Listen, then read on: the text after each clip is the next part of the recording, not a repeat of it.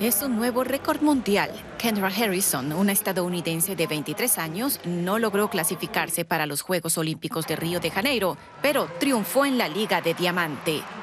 12 segundos 20 fue lo que necesitó para recorrer los 100 metros con vallas y batir por una centésima de segundo el récord marcado hace 28 años. Fue una de las mejores noches de mi vida. Estoy muy contenta y le doy gracias a Dios.